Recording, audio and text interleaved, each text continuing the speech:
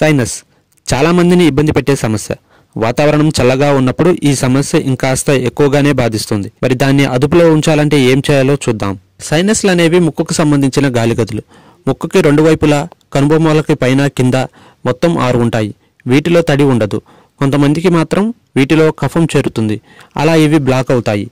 ఇలా కఫం చేరినప్పుడు వైరస్ బ్యాక్టీరియా ఫంగస్ వంటివి అక్కడ చేరి ఇన్ఫెక్షన్ ఎదురవుతుంది.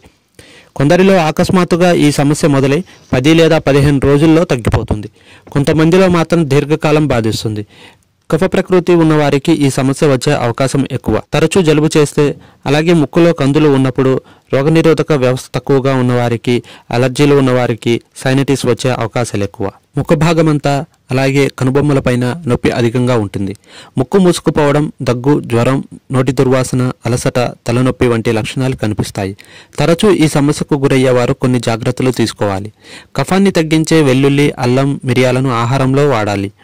నిత్యం పచ్చి ఉల్లిపాయలు తినడం మంచిది. కఫాన్ని పెంచే గుణాలున్న చల్లని తీపి పదార్థాలు చాక్లెట్లు కేకులు పెరుగు పాయసం పాల పదార్థాలు తగ్గించాలి. చలిగాలలో వానలో తిరగకూడదు. తరచూ వేడి నీటిని తాగుతూ ఉండాలి. ముఖానికి ఆవిరి పడుతూ ఉండాలి. ఆవ నూనెను గోరువెచ్చగా చేసి రెండు లేదా మూడు చుక్కలను ముక్కులలో వేసుకొని పది నిమిషాల తరువాత ముఖంపై చేతులతో మత్తన చేసుకుంటే ఉపశమనం కలుగుతుంది. వేడి నీళ్ళలో కొన్ని చుక్కలను యూకలిప్టస్ నూనె వేసి ఆవిరి పడితే ముక్కు తెరుచుకొని తేలిగ్గా ఊపిరి తీసుకోవచ్చు. ఐదు గ్రాముల వసకొమ్ము చూర్ణం ఇరవై మిల్లీలీటర్ల నువ్వుల నూనెను ఎనభై మిల్లీలీటర్ల నీటిలో కలపాలి.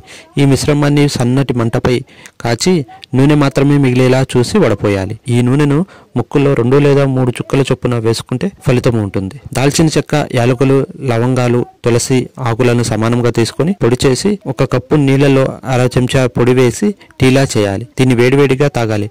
అలా రెండు లేదా మూడు వారాల పాటు ప్రతిరోజు తీసుకుంటే సైనసైటిస్ తగ్గుతుంది. కప్పు పాలలో అర చెంచా సొంటి పొడి వేసి బాగా కాచి వేడివేడిగా తాగితే సైనస్ నుంచి ఉపశమనం కలుగుతుంది.